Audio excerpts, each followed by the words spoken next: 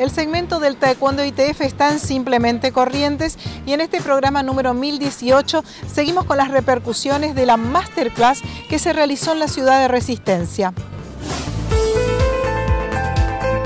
Para nosotros una alegría que en el Chaco se haga la primera masterclass, en la segunda en el año, pero un honor tener acá el máster de Marchi con nosotros, una filial más que se incorporó hace muy poco tiempo con ellos, muy contento porque la convocatoria es más de 100 instructores eh, y es una alegría para mí porque en un lugar como Resistencia, donde el taekwondo, hay varios tipos de taekwondo, sigue marcando la diferencia esta asociación como la ACT de corriente que está siendo muy fuerte acá en Resistencia. Así que la verdad que muy contento como, como resistenciano, como chaqueño, pero también contento porque apoyó todo corriente del interior, gente de Paraguay, ustedes lo habrán visto, gente del interior del Chaco como Machagay también. Así que estamos muy contentos de, este, esta masterclass internacional. ¿Qué se aprende en una masterclass, Rubén?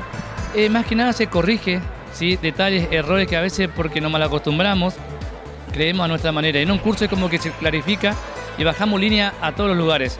O sea, lo que yo corrijo, se corrigen mis alumnos, a la vez la ciudad, a, la vez la provincia, se oficializa eh, un, curso para todo de la misma manera.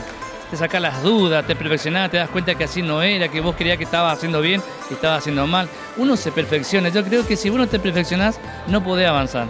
Pasa en la educación, pasa con los abogados, pasa con los contadores. Si uno no se perfecciona, no puede avanzar.